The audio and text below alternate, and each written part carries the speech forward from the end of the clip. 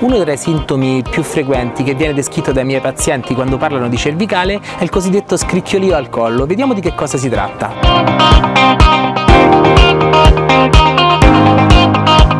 Cominciamo quindi a sfatare un primo mito, non esiste alcuna sabbiolina all'interno del collo.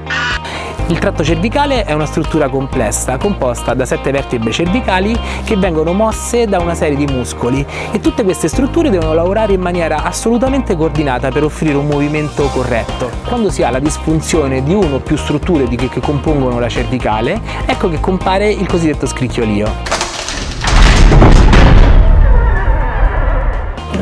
Generalmente il movimento che provoca il cosiddetto scricchiolio è quello di estensione e rotazione del collo, inizialmente con soltanto un fastidio, poi un dolorino, fino ad arrivare a vero e proprio dolore, che porterà alla creazione anche nelle fasi avanzate e soprattutto in tarda età della cosiddetta artrosi, una, un consumo eccessivo della superficie articolare che determina quindi dolore e limitazione articolare. Il primo passo da fare è quello di eseguire un RX che mostrerà la comparsa di eh, artrosi cervicali medicale nei casi avanzati oppure mostrerà una condizione generale di sofferenza di quelle che sono le strutture articolari. Il compito del fisioterapista sarà quindi valutare il corretto movimento e analizzare quali sono le strutture in disfunzione, riandando a riequilibrare la condizione mediante magari una manipolazione cervicale oppure seguendo una serie di esercizi che porteranno il comparto cervicale a lavorare in una condizione migliore. Anche se all'inizio lo scricchiolio è soltanto un sintomo, varrebbe la pena affrontare il problema problema in maniera precoce